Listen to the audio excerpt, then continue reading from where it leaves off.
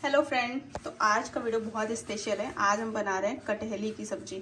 हमारे पूर्वांचल में ना कटहली की सब्ज़ी बहुत स्पेशल तरीके से बनाई जाती है। मतलब कटहल की सब्ज़ी जो बनती है, वैसे थोड़ा सा डिफरेंट होता है कटहली की सब्ज़ी, क्योंकि इसको बनाने के लिए अब इसको काट लेंगे, फिर हम बताते हैं कि इसको कैसे बनाएँगे। हमने दो हमने दो बारीक प्याज काट लिया था, दो चार लहसुन रख लिया जो तड़के देंगे, और मसाले में हम आपको बताते हैं। हमने सूखा मिर्चा, गार्लिक और बड़ी इलायची, जीरा मिर्च। और थोड़ा सा मतलब गरम मसाला, खड़े थोड़े से मसाले लिए हैं, जो हम इसको पीस लेंगे। और कटहल को हमने बॉईल करने को रख दिया तो अभी जो बॉईल हो जाता है, इसके बाद हम बनाएँगे। क्योंकि कटहली को ना हमेशा बॉईल करके ही बनाना चाहिए, क्योंकि वो थोड़ा कसाव होता है तो बॉईल करने से ना कसाव निकल जाता है। तो ये जो मैंने मसाला पीस रखा है, पीस लिया मैंने इसमें। ऊपर से थोड़ा सा मैंने गरम मसाला का पाउडर और हल्दी ऐड कर दिया। और ये जो मैंने कटहल बॉईल करके रख लिया मतलब सॉरी कटहली बॉईल कर लिया और कुकर मैंने चढ़ा दिया, जिसमें मैंने सरसों का ऑयल डाला है।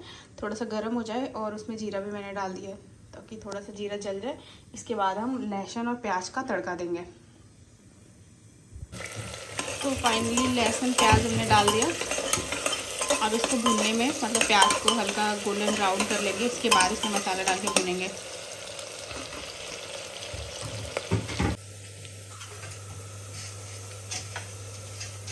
तो प्याज हमारा ये ब्राउन हो चुका है।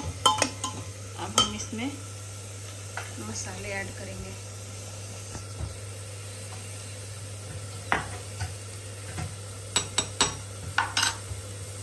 जो मसाला हमने बना रखा था, ये ऐड कर देंगे।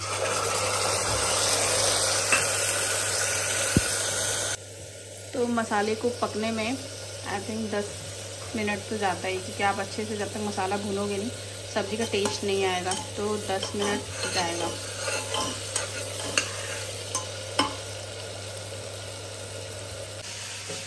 तो मसाला भून गया था तो इसमें थोड़ा सा कटहल डाल के भी, कटहली को हल्का हल्का भून लेंगे।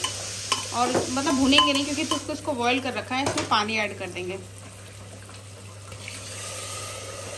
आप अपने टेस्ट अकॉर्डिंग ऐड कर सकते हैं।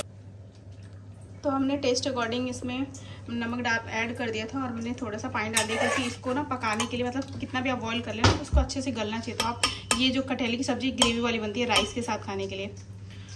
तो अब इसको ए, मतलब दो सीटी और लगा देंगे ताकि अच्छे से गल जाए। तो सीटी लगाने जा रहे हैं आप लोग सब रेडी हो जाते हैं तो दिखाते हैं कि अब कैसे बने हैं। ठीक है? तो ये हमारी कटहली की सब्ज़ी बनके रेडी हो गई है। आप देख सकते हो ग्रेवी वाला, आप राइस के साथ पूड़ी के साथ मतलब आप जिसके साथ चाहो तो उसके साथ आप खा सकते हो।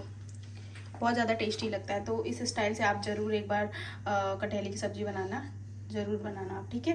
और वीडियो अच्छा लगे तो आप लाइक शेयर एंड सब्सक्राइब